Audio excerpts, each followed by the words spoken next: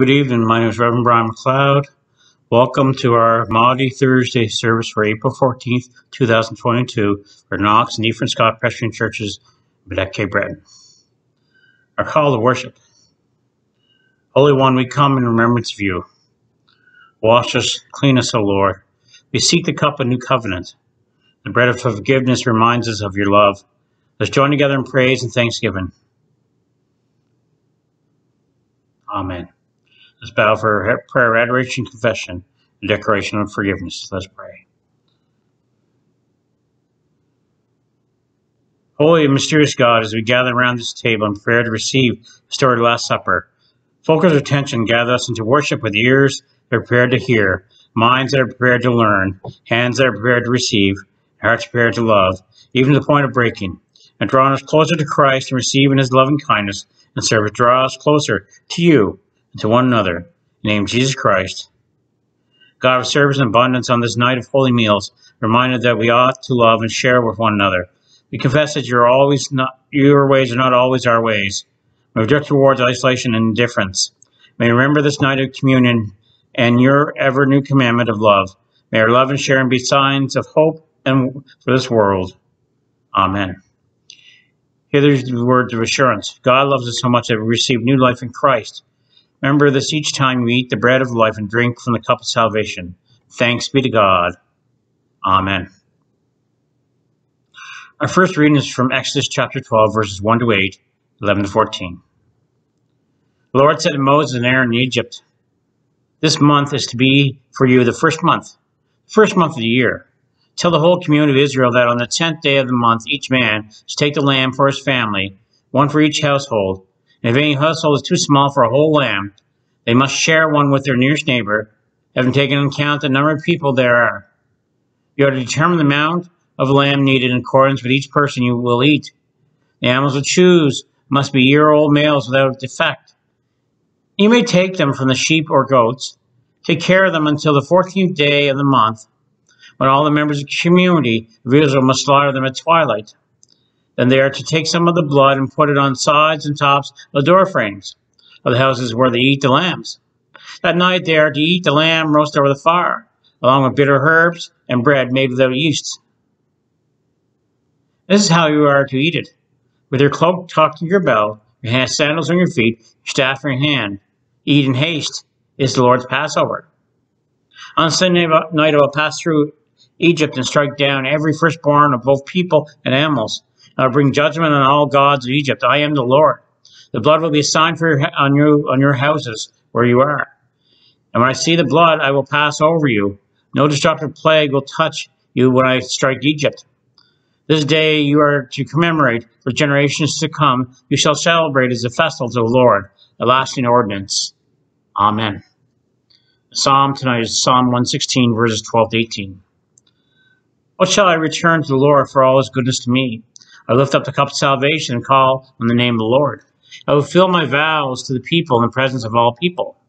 Precious in the sight of the Lord and the death of his faithful servants. Truly I am your servant, Lord. I will serve you just as your mother did. You have freed me from my chains.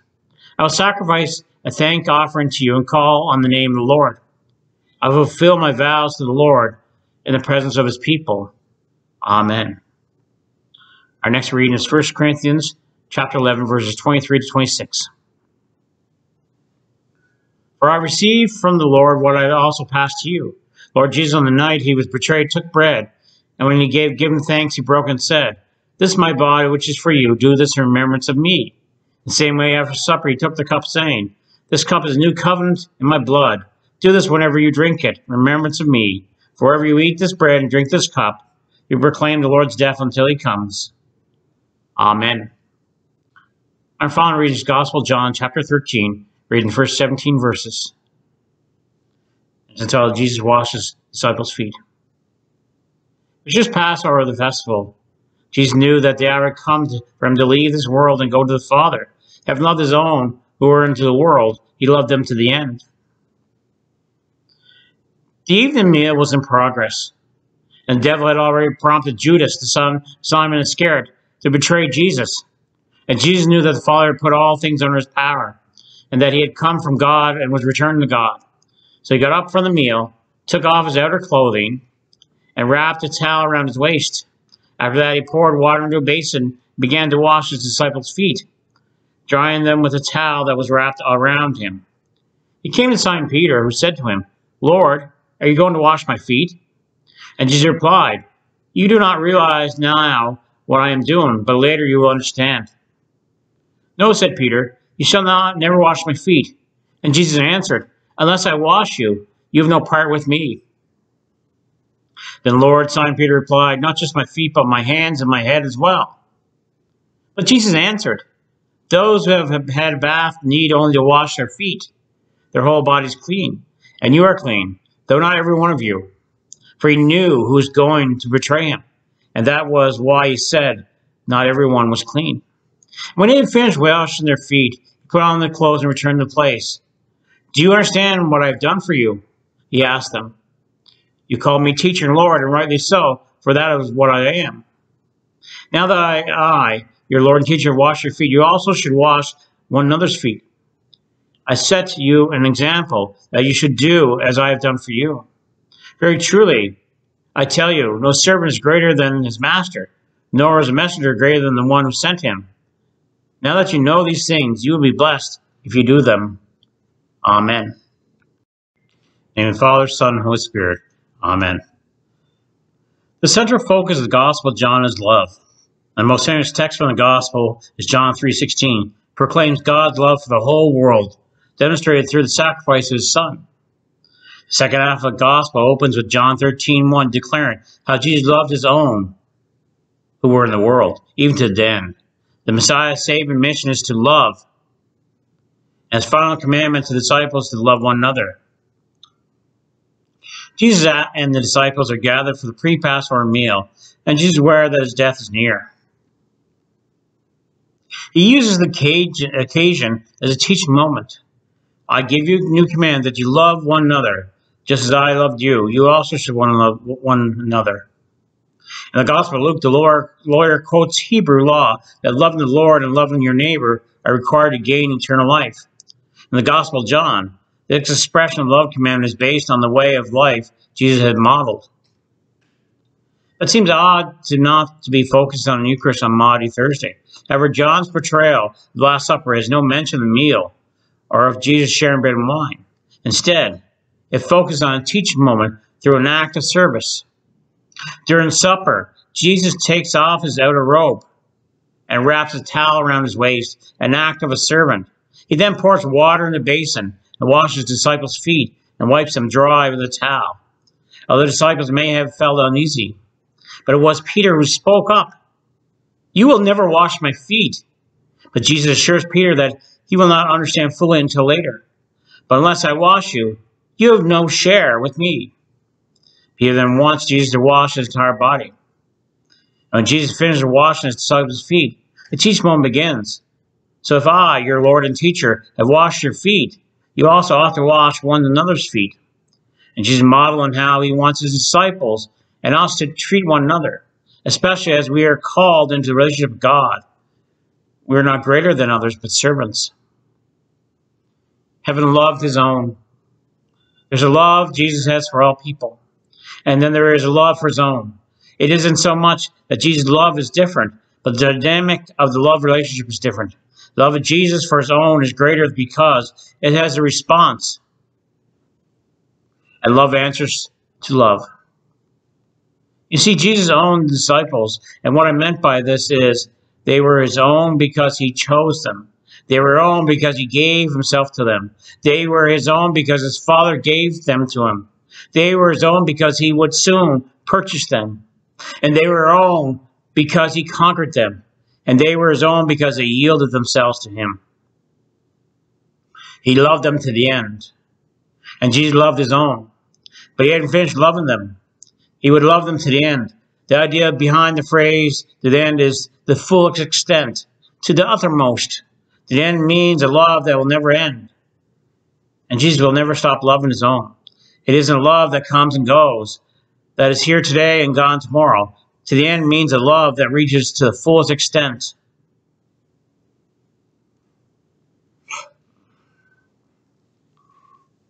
Mark was, was an 11 year old orphan who lived with his aunt, a bitter middle aged woman, greatly annoyed with the burden of caring for her dead sister's son. She never failed to remind young Mark if it hadn't been for her generosity, he would be a vagrant, homeless waif. Still, with all the scold and chillness at home, he was a sweet and gentle child. And Mark's school teacher had not noticed him particularly until he began staying after class each day. At the risk of arousing his aunt's anger, she later found out, found to help her straighten up the room. They did this quietly and comfortably, not speaking much, but enjoying the solitude of that hour of the day. When they did talk, Mark spoke mostly of his mother. That was quite small when she died. He remembered a kind, gentle, loving woman who always spent much time with him. As the holidays grew near, however, Mark failed to stay after school each day. His teacher looked forward to his coming. When the days passed, he continued to scamper hurriedly from the room after class. She stopped him one afternoon and asked why he no longer helped her in the room. She told him how she had missed him, and his large gray eyes looked up eagerly as he replied, Did you really miss me? Mark's teacher explained how he had been her best helper.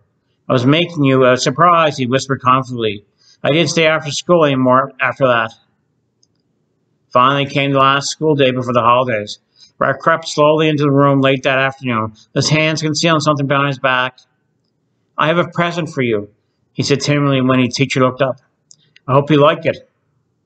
He held out his hands. There lying in small palms was a tiny wooden box. It's beautiful, Mark. Is there something in it? I asked, opening the top to look inside. Oh, you can't see what's in it, he replied. And you can't touch it or taste it or feel it. But Mother always said it makes you feel good all the time. Warm on cold nights and safe when you're all alone.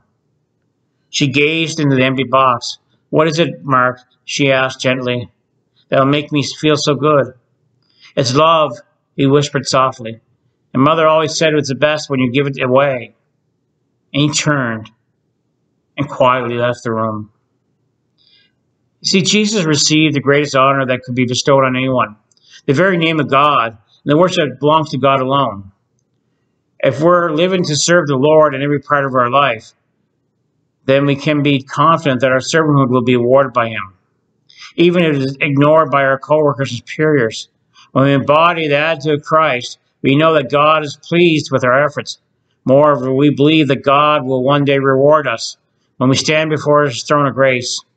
So we chose the servant attitude of Christ, probably because it's right, God honoring thing to do, and probably because of the war that lay ahead of us. Thus, we're able to serve the people around us, even if our efforts are ignored or even scorned. We serve others for the sake and pleasure of our Heavenly Master. In the name of the Father, Son, and Holy Spirit. Amen. At this time, I'm going to read the Nicene Creed. I believe in one God, the Father Almighty, maker of heaven and earth, and all things visible and invisible, and in one Lord Jesus Christ, the only begotten Son of God, begotten of his Father before all worlds, God of God, light of light, very God of very God, begotten, not made, being of one substance with the Father, by whom all things were made, who for us men and for our salvation came down from heaven, was incarnate by the Holy Ghost of the Virgin Mary, and was made man, and was crucified also for us under Pontius Pilate. He suffered and was buried. The third day he rose again, according to the Scriptures. He ascended into heaven, and sitteth on the right hand of the Father and shall come again with glory to judge both the quick and the dead. His kingdom shall no have no end. And I believe in the Holy Ghost, the Lord and the giver of life, who proceeded from the Father and the Son, who with the Father and Son together were worshipped and glorified, who spake by the prophets, and I believe one holy Catholic and apostolic church. I acknowledge one baptism for the remissions of sins. I look for the resurrection of the dead and the life of the world to come. Amen.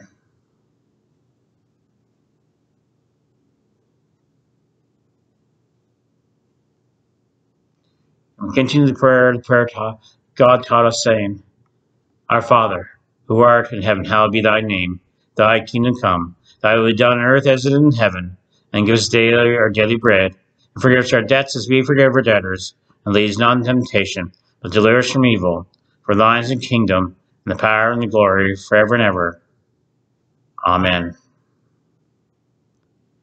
May God continue to walk with you on your journey.